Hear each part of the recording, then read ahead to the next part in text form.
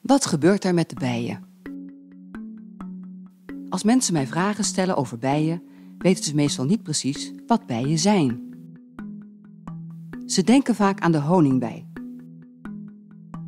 Vooral omdat die ons, uh, nou ja, honing geeft. Honingbij is maar één van de vele bijensoorten. En hij is heel bijzonder omdat hij door imkers wordt beheerd. Maar er zijn veel meer wilde bijen. Sommige zijn groot, sommige klein, sommige behaard en sommige glanzend. Sommige hebben lange voelsprieten en andere korte. Sommige hebben een rode achterkant, andere een gele. Er zijn meer dan 20.000 verschillende soorten bijen in de wereld. Ter vergelijking, er zijn twee keer zoveel bijensoorten als vogelsoorten.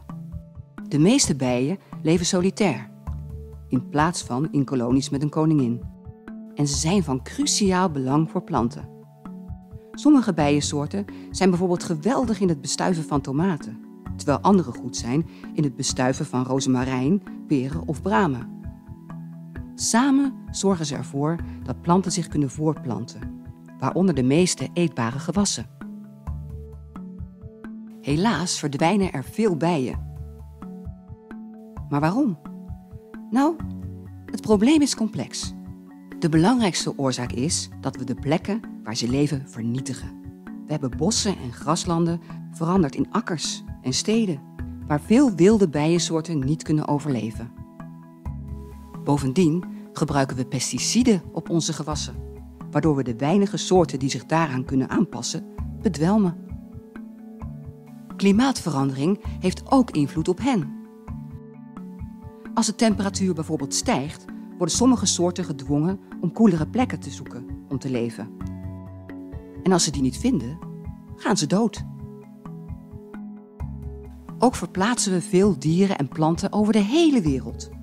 Sommige daarvan brengen nieuwe ziekten met zich mee, met verwoestende gevolgen voor inheemse bijen. We weten dat elk van deze dingen ervoor zorgt dat sommige bijensoorten verdwijnen maar als ze tegelijkertijd gebeuren, gaat het uitsterven extra snel. Wat kunnen we eraan doen? Veel. Ten eerste moeten we ons landschap beter onderhouden door natuurgebieden te behouden.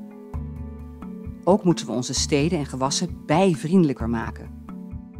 Door er bijvoorbeeld inheemse bloemen te laten groeien. We moeten het gebruik van pesticiden tot een minimum beperken of zelfs helemaal vermijden als dat mogelijk is.